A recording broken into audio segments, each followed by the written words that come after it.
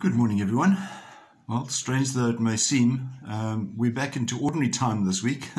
so you'll find that we're no longer wearing white vestments or even red as we did yesterday, but we'll be wearing green for most of the time. Of course, just to bring the whole exception to the rule, today we celebrate the memorial of Mary, the Mother of the Church. Um, and in which case, we're not going to be wearing green either, we'll wear white. So it is. Uh, an interesting celebration. There are many uh, memorials associated with Our Lady, and uh, this particular one was uh, instituted in 1964 uh, by Pope Paul the uh, Sixth, um, basically to give a greater honor um, to Mary as the mother of Jesus, and as a result, the mother of the church that he established.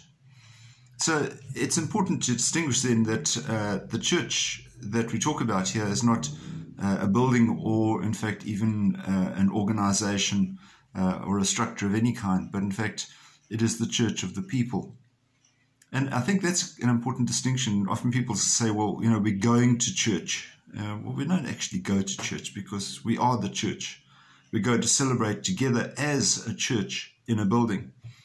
I know that uh, some of you might have visited uh, in the continent, in particular, small villages out in the country, where they've got some of the most amazing churches, but they they basically abandoned. They almost never have mass there. There's probably not even a parish priest, and so you know the church, the building is still there, but the people aren't. And so the church itself, um, as a community, uh, is is dying off. Uh, of course, the reason for that is most of the younger people are moving off to the cities where jobs are more available. So, in, in keeping that going, uh, we celebrate that Mary is alive and well, giving us guidance as a community.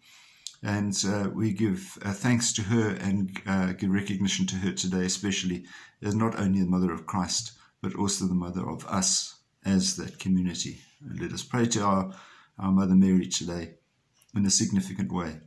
Um, never forgetting, of course, uh, that we are, we are encouraged to say the rosary, particularly during this month of May. May God bless you and keep you safe. God bless. Bye bye.